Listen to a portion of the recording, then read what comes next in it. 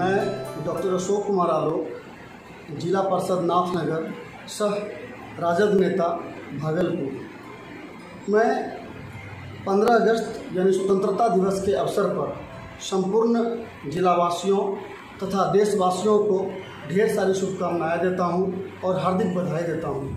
साथ ही साथ देश के युवा से मैं यह करबद्ध आग्रह करता हूँ कि देश की बागडोर आपके हाथों में है। कृपया देश को सुंदर बनाएँ, स्वच्छ बनाएँ, शिक्षित बनाएँ। एक बार पुनः ढेर सारी शुभकामनाएँ।